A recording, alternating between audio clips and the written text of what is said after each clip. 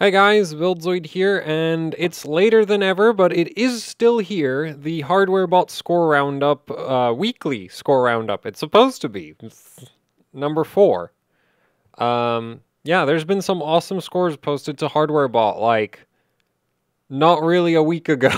like, more than a week ago at this point. And uh, we're to take a look at them, because they're awesome and, and worth checking out. So, Let's get right into it, starting off with Ralph's SuperPi 32 million uh, world record, which I kind of need to check that it is still the world. It is still the world record. Um, I mean, he did beat the previous one by almost two seconds, so you would hope that it would stand up relatively long at this point, as people like, you know, the SuperPi 32M right now is sort of getting pushed to its limits for the 11th gen CPUs. And well, Ralph is currently at the front of that race for the shortest SuperPi calculation time. Anyway, he's running it on an 11900 KF uh, at 7.125 gigahertz on a Maximus 13 Apex. Everything's on L. Well, everything that needs LN2 is on LN2. You're not going to LN2 your graphics card for a single-threaded CPU benchmark. Um, but yeah, memory on LN2, CPU on LN2. Uh, running on a Maximus 13 Apex, um, Ralph is supported by Asus and Galax, so also the memory is Galax Hall of Fame. Um, and yeah, and you know, here here's the screenshot. In terms of the memory settings he's running, he's running DDR4 4300, 12, 12, 12, 16. Um, and so the 12, 12, 12 part is kind of normal, like 43. Like, I'm pretty sure I've seen screenshots of 4400 CL12 at some point in time. And of course, this is Samsung B-Die memory because nothing else does TRCD this slow at that higher frequency. Um, but, um, yeah, like 43, like this is up there. This is way up there. Like, if you can run 4200 CL12 just at all, you have a pretty strong memory kit.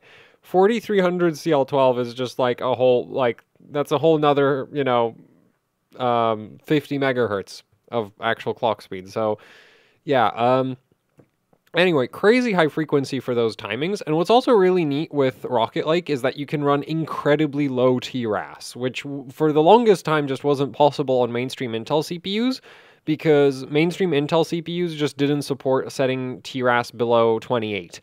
Um, and for example, Ryzen CPUs don't allow you to set it below 21, um, but with Rocket Lake, apparently you can go as low as 16, um, which is quite something.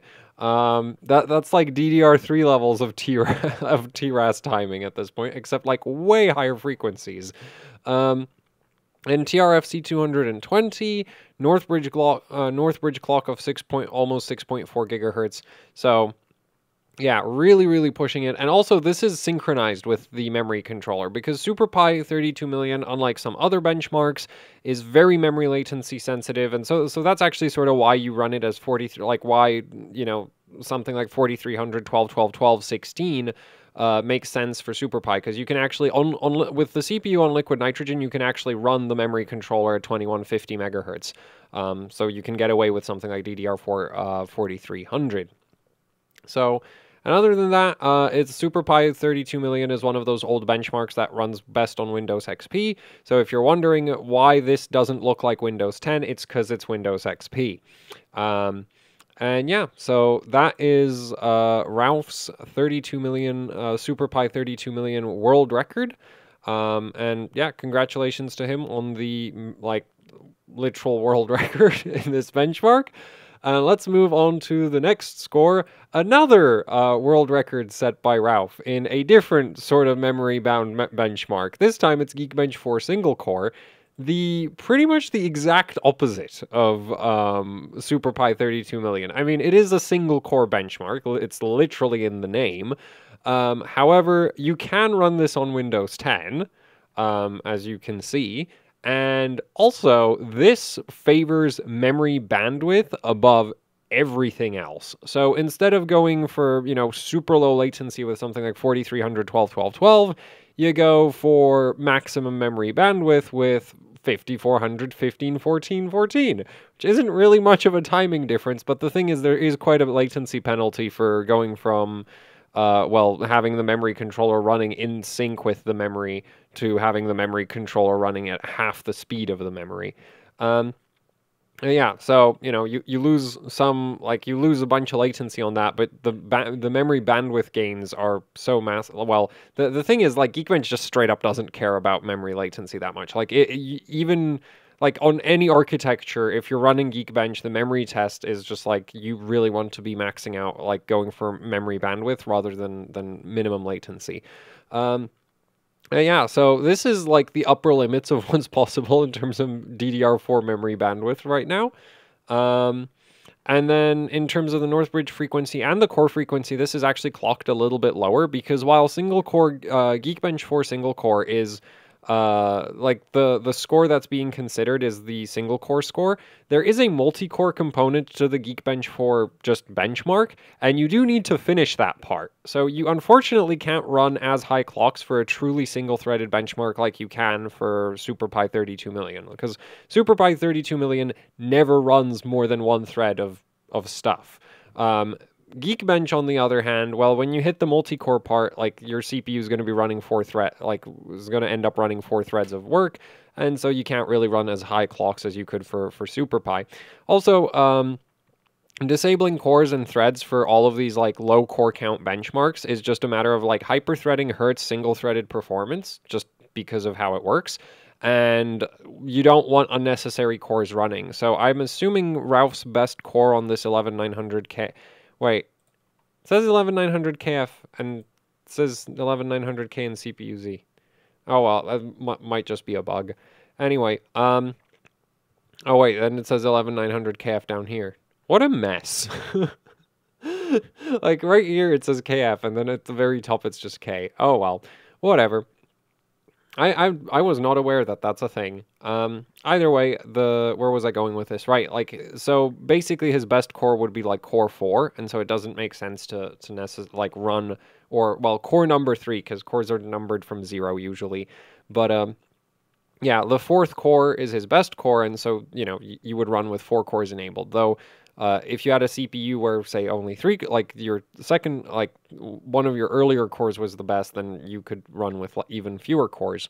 Um, yeah, anyway, um, so Geekbench 4, uh, single core record, and I should also refresh this one, but I don't think it, this one, I don't think this one, the score, yeah, no, he's still at the, still, still first, um, for Geekbench 4 single core. So, yeah, congratulations to, to Ralph on the, the, the two, uh, world records, and let's move on to the next score. And the next score is Bisso Bisso's 3D Mark, and I, am going to have to refresh every single one of them just in case. Um, yeah, is Bisso Bisso's 3D Mark Port Royal single GPU top score.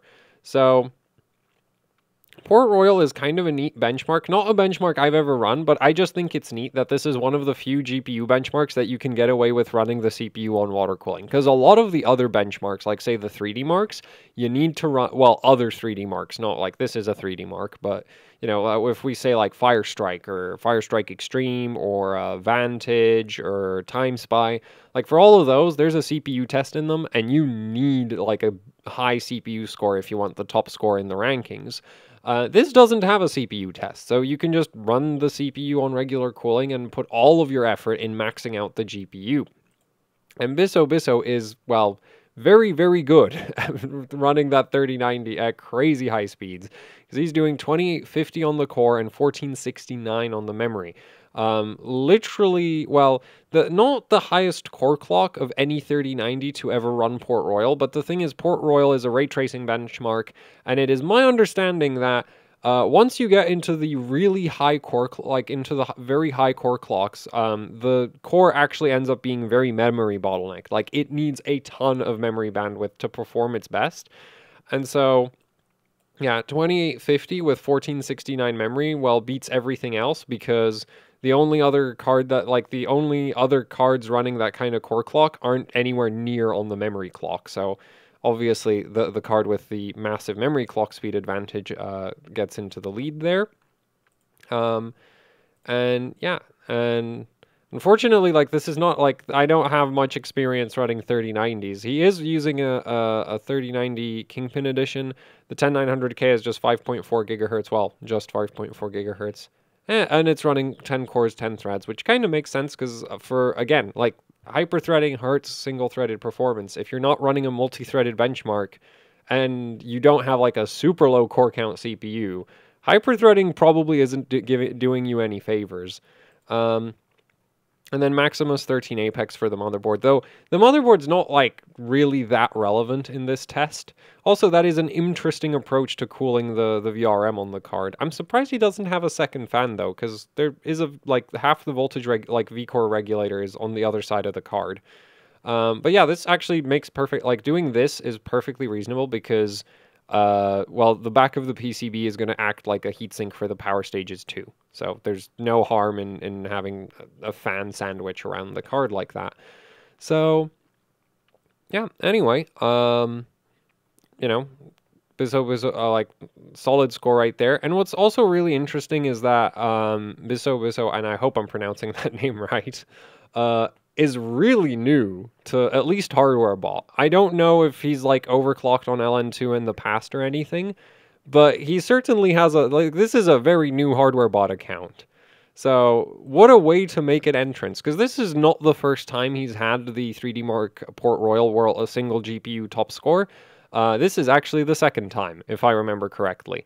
So, yeah, you know, makes an account this year and gets a, you know, get like basically manages to get the top score in a in a rather competitive GPU benchmark on a very hard to run GPU. Like 3090s are not easy cards to to max out. They pull a stupid amount of power. They love to lose contact with their thermal paste and like you really need to dial them in. So, and you have like slightly more voltage sliders than you would have on say some other GPU architectures, and they are actually important. So, um, yeah, very very impressive score, and like what a way to make an entrance to at least hardware bot because again i don't know if he like like it's real like it's hard to believe that somebody just picked up ln2 one day and just bam world record but um, at the same time, it's like if you know, it, like there's a method to this, right? So it's just like if you follow the method, anyone should be able to learn how to set world records, assuming they also have, you know, a card capable of doing that. And well, he's running a Kingpin edition. Of course, the card is capable of doing world records, right? Like, it's not much other like there's not much other competition for for 3090s on LN2. It's like you've got Hall of Fames and you've got Kingpin editions, and that's basically it. So, yeah, anyway, uh, very, very impressive score. And so, congratulations to Bisso Bisso on the 3D Mark Port Royal uh, single GPU first place. Anyway, now let's move on to not not not a, as highly ranked score, but a score that I personally find extremely interesting. Uh, QuickMew's Super Pi 32 million fifth place finish with an 11900K at a little over 7 gigahertz. And what I find so cool about this score is the OS that QuickMew is running it on, and the fact that he isn't like 30 seconds slower than everybody else in the ranking. Um, actually, it's not quite that bad, but like the penalty for running, like with some CPUs, um, or I'm not even sure if it's CPU specific. It might just be like some some things changed over time, but like the I don't bench Super Pi 32 million enough to, to really know this. I just know that I have SuperPi 32 million scores that I've posted to some rankings where I am like 500 megahertz above everybody else around me. M- and mostly down, and that's mostly down to the OS uh, OS I'm on. So like I'd have a CPU running the benchmark at 6.6 gigahertz, getting beaten by people running 6.1 gigahertz, which is not great. However, um, apparently for at least 11th gen, uh, you can totally get away with running Windows 10 because this is a top five score in the world for Super Pi 32 million on Windows 10. Like, yay! I, you don't, you no longer need to run Windows XP to get like, you know, you're probably not going to get to the very top of the ranking, but you're not going to be at like, you're you're not going to be losing a bunch of time um, to like just to the just to the operating system that you chose because that used to be like with with a lot of other CPUs like that is actually a major problem where it's like you run it on Windows 10 and it's just way slower than it should be.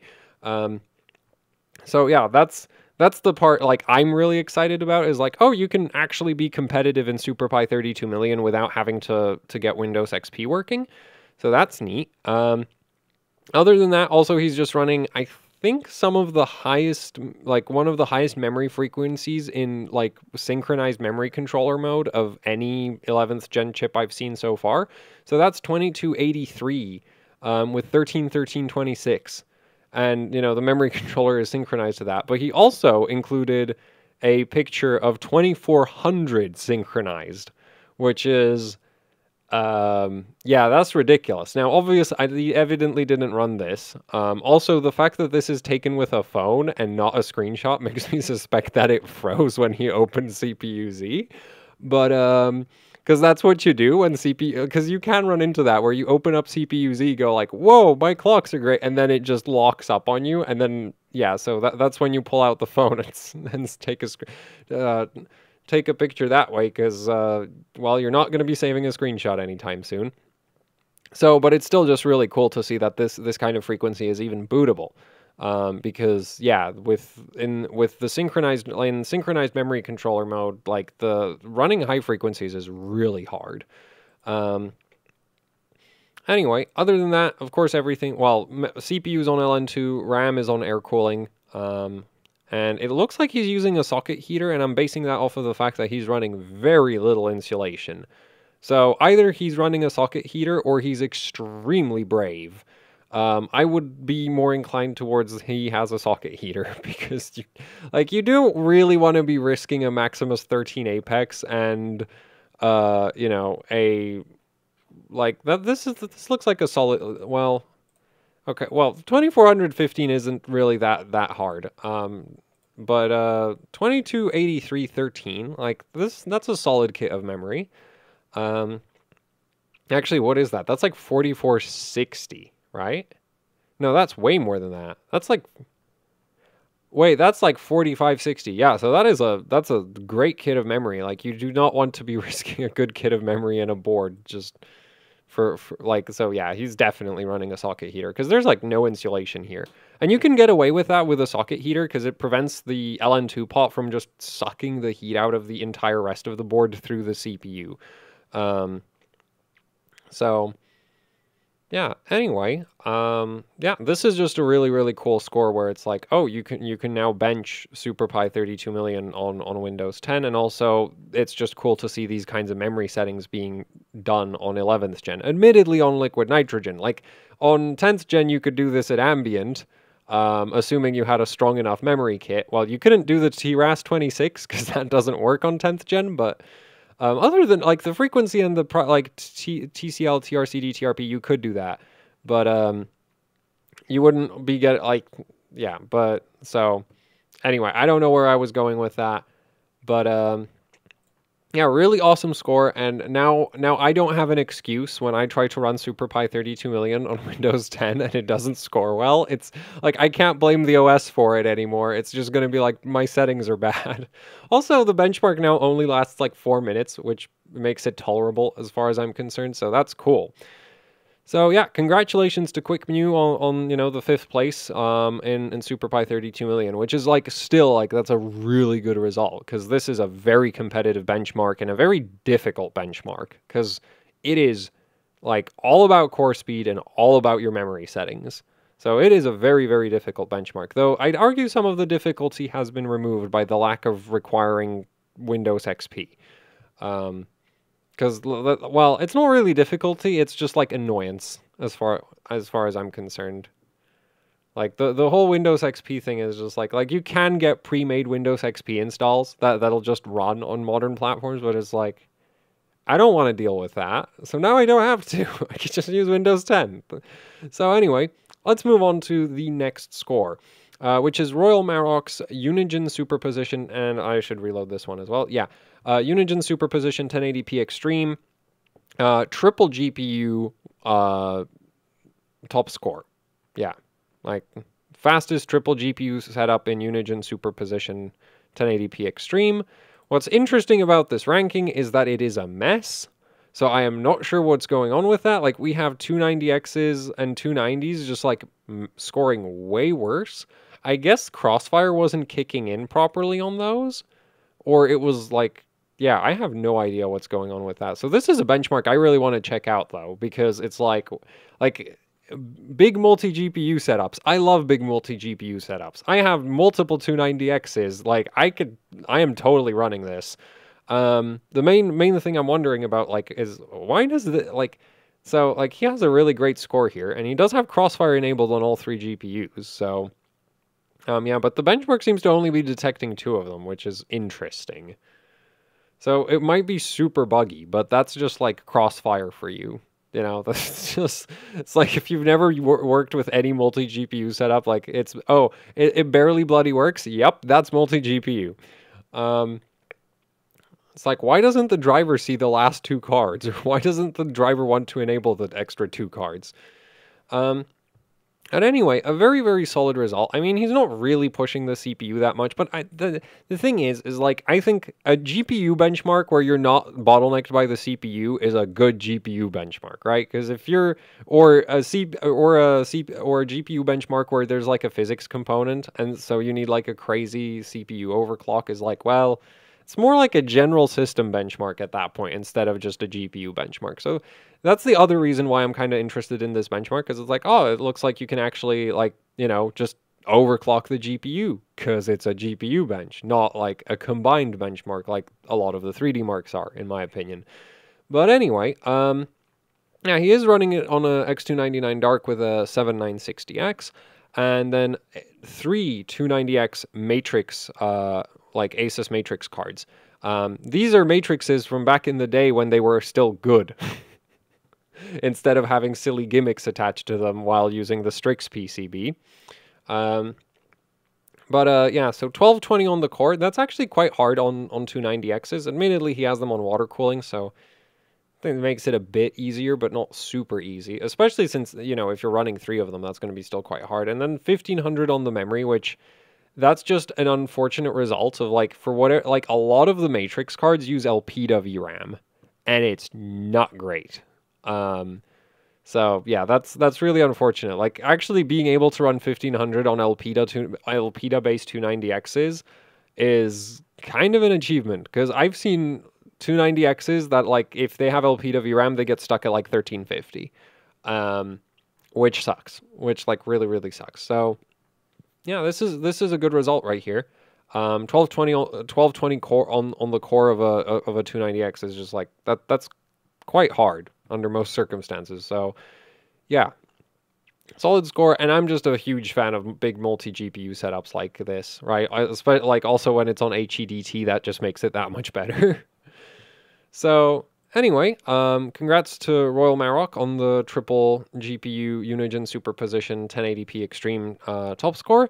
And let's move on to the next score in the roundup, which is Wittix and his CPU frequency uh, validation tops like top validation for the Core 2 Duo E80 E7200 um, at 6.46 gigahertz. Now, what's crazy about this score is that the old record for this CPU is three is more than 300 megahertz lower. And if you look at the ranking for this chip, okay, it's like barely anybody is getting this chip to like 6 gigahertz. And then Wittix comes along in in 2021, um, you know, pulls out an EP45T UD3R from Gigabyte and just kind of smashes the record from I, the thing is the the previous record isn't even that old. That one's from 2016 but either way uh, smashes a like five year old record by 300 megahertz which is insane. Like that is a huge um, you know like for for cpu validation that is a huge jump uh, from from the first place to the second place. So yeah very very impressive like validation right there in terms of just like getting like making that much of an improvement on the previous top score. Also neat that he didn't sandbag it because some like that that he didn't just pose like hundred megahertz higher and keep the keep the actual max validation to himself. Um, but yeah, unfortunately, I can't really say too much about the score except what Wittix has commented himself down here because. Um, yeah, I uh, I don't know much about m- much about LGA seven seven five at all. Um, but yeah, it looks like the cold behavior is interesting, and there's a lot of voltages here. Um, but yeah, I, I don't do 775. I have no intentions of doing 775 because I have enough hardware to work on as well, enough hardware to play with more like. So technically it's also my like job. So anyway, enough hardware as is. I'm not getting into 775 because this is a platform where you do need to like bin motherboards a lot from what I've heard and it's like I'd prefer to not do that. Um, but anyway, uh, Wittix here has managed a very, very impressive CPU Z validation on, on that Core 2 Duo e- E7200. So, yeah, um, congrats to him on the score, and let's move on to the next one. And the next one is DDC's memory frequency validation on SDR SDRAM. I don't even know what that is. Actually, I do know. It's single data rate SDRAM, right? Yeah, single data rate SDRAM. I that like I, I mean I understand what those words mean. I still have no idea what that looks like. Apparently, it's green, and the memory chips look very weird. Um, no, I like old memory chips used to look like this. This this is ancient freaking technology to me. Um, I mean, this is half a gig. That's actually like that's pretty big, isn't it? I really don't know anything about this. Like the stuff, like th- this is just like again to me ancient freaking technology. Um, but um, like the, well, this is the kind of stuff where you're surprised that the motherboard still runs. also, that heatsink's awesome. Um, but anyway, yeah. So you know, 2021, and I wonder what the previous record for this is, because yeah, like so Pentium 4 um, yeah, I have no idea. What socket does this even use? I don't know. So unfortunately, like this is a really cool score because it's like, whoa, this like on the basis of like this is ancient freaking hardware as far as I'm concerned. And also like he beat the old record by 7 megahertz, which is quite a lot when we're talking about, you know, RAM doing 250 megahertz. Uh, that's a pretty like m- major increase in frequency right there. Um, so, yeah, unfortunately, I don't really know anything about this. Even more so than 775. Like 775 at least uses DDR3 memory, which I know something about. This right here is like I didn't even know this is a thing. Like yeah, that's like the first time I've ever heard of this memory. Um yeah, nonetheless, like, you know, an impressive score. And I wonder when the previous record is from.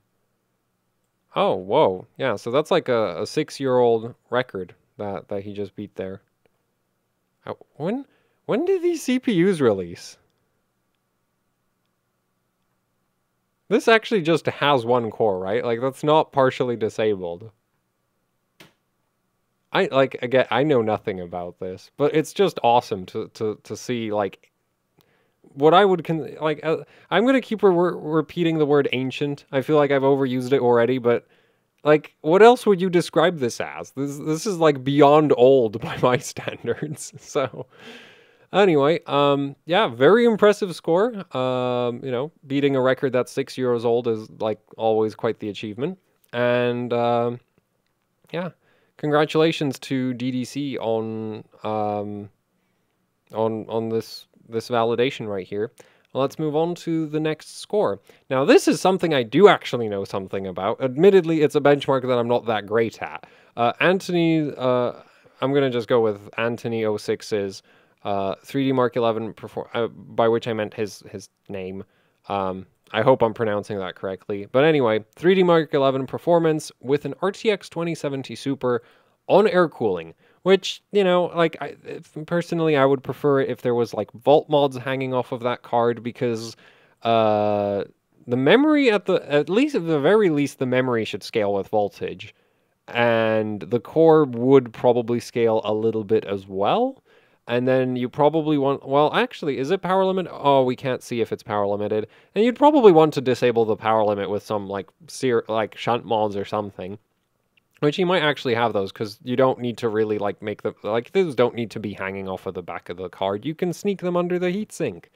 Um, but, um, yeah, this this right here, like this reason I ultimately like the the thing is, you know, air cooled card and he's running 2190, which is quite the overclock for a 2070 Super on on air cooling, but at the same time it's like a lot of that's just going to come down to the silicon lottery if, you know, if you're not like if you're not doing a bunch of modifications it's just like and your card's on air cooling like it's basically just like did you get lucky with the silicon?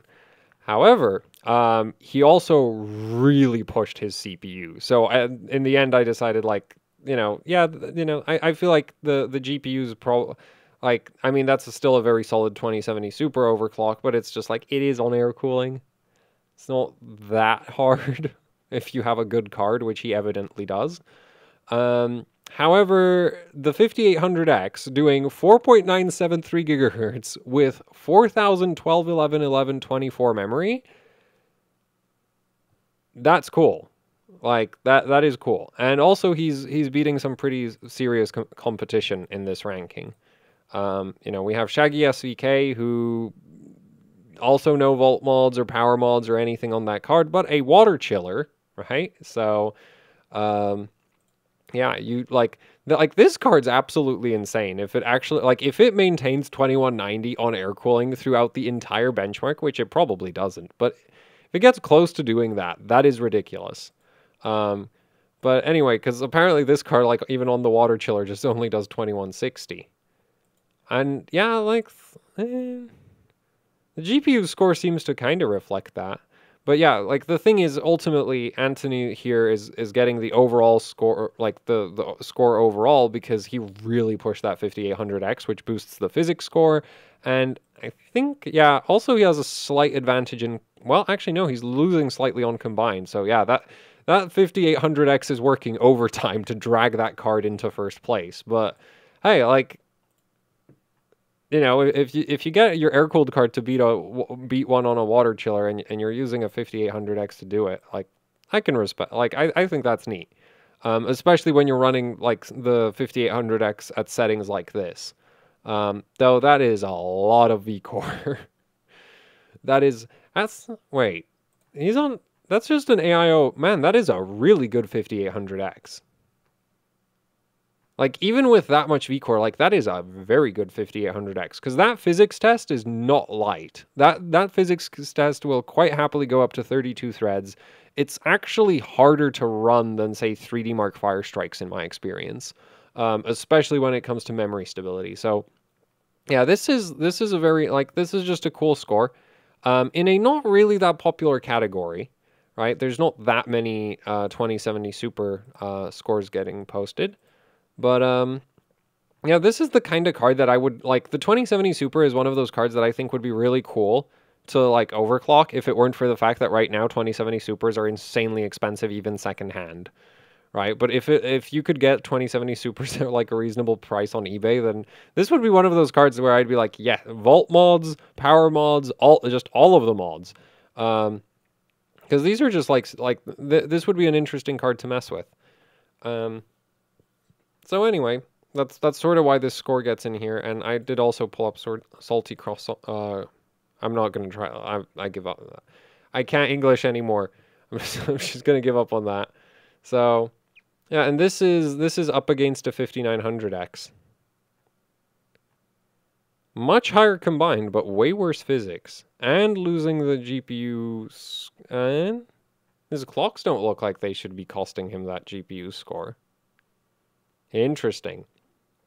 Yeah, so this this is a cool score ultimately. Like, yeah, it's being pretty heavily carried by that 5800X, but it's not like that 5800X isn't doing some very impressive things. So this gets into the roundup.